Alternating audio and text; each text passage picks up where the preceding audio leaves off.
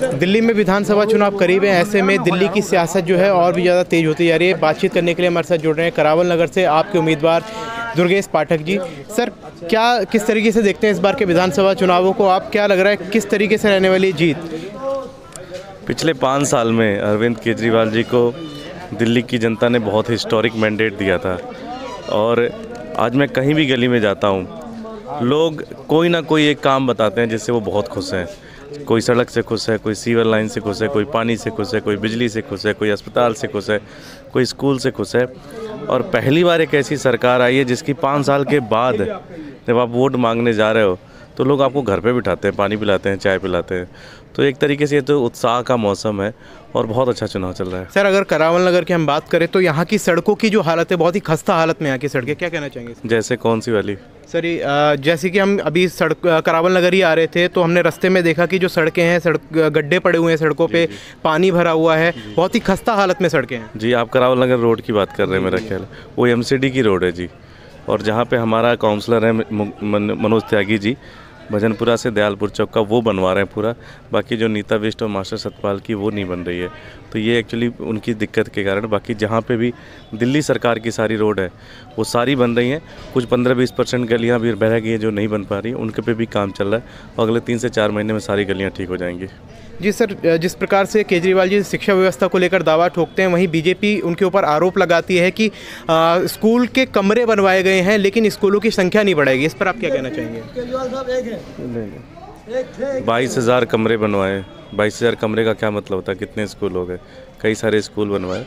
थोड़ी सी ज़मीन की दिक्कत होती है लेकिन देखो इन सब चीज़ों का कोई मतलब नहीं है।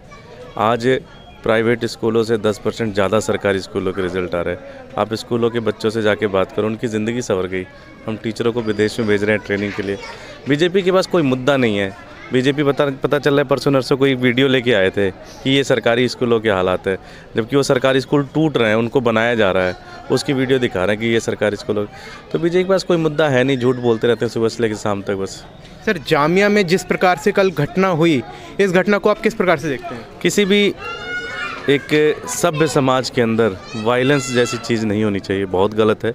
और एक सभ्य नागरिक होने के नाते हिंदुस्तान के संविधान में अपना विश्वास रखने में इस घटना की कड़ी निंदा करता हूँ।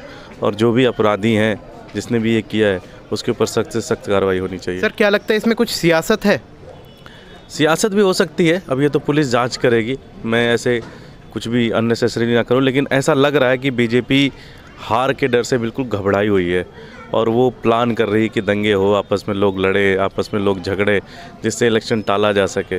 लेकिन दिल्ली की जनता समझ रही किसी भी गली में जाता हूँ, लोग कहते हैं कि बीजेपी वाले दंगा कराएँगे, परेशान मत होना, लेकिन आपकी सरकार आने के बाद आगे जो पाँच साल का टाइम पीरियड रहेगा, उस टाइम पीरियड में क्या क्या मुद्दे होने वाले हैं और क्या क्या काम जनता को मिलके जनता को मिलने वाले हैं? हमने पहले भी कहा, बहुत सारे जो पिछले पाँच सालों में जो प्रोजेक्ट शुरू किए, जैसे सीवर लाइन पढ़वाने के प्रोजेक्ट हुए, उसमें भी 10 से 15 परसेंट दिल्ली बची हुई है जहाँ पे सीवर लाइन नहीं पड़े, उसको डलवाएँगे। पानी की पाइपलाइन में 7 परसेंट दिल्ली में बची हुई है, उसको डलवाएँगे। 24 घंटे टूटी से पानी आना चाहिए, उसके प्रोजेक्ट के ऊपर काम कर रहे हैं। और हर दो से तीन गलियों के ऊपर एक मोहल्ला मार्शल लगाएँगे, जिसकी ज़िम्मेदारी होगी कि उस मोहल्ले की देखभाल करेंगे। दिल्ली को स्वच्छ बनाएँगे, दिल्ली को साफ़ बनाएँगे, बढ़िया बनाएँगे। तो ये सारी की सारी चीज़ें एक दिल्ली को वर्ल्ड क्लास सिटी बनाने के ऊपर काम करेंगे।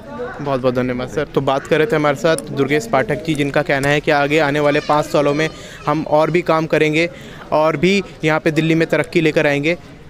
शुभम गुप्ता ए दिल्ली।